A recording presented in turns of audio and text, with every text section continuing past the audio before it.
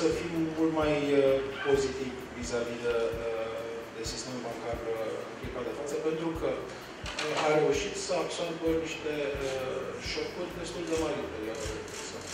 Uh, a reușit să uh, are niște indicatori uh, care arată că este robust în momentul de, în momentul de față. Uh, are un grad de solvabilitate destul de mare la nivel european, dacă nu cumva unul din cele mai mari pe, pe plan european.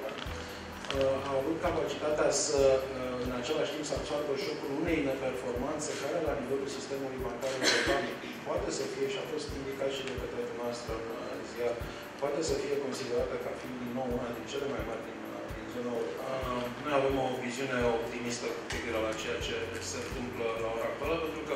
din punct de vedere macroeconomic, România arată mai bine decât uh, oricând în ultimii uh, 4-5 ani de zile și a rezolvat problemele și uh, uh, imbalansurile pe care le avea pe uh, criterii macroeconomice. Uh, ne așteptăm la o creștere economică pe următoarea perioadă și asta nu face decât să ne... Mai, mai e un element care nu l-am văzut menționat până acum, și anume există o convergență reală în clipa de față din punct de vedere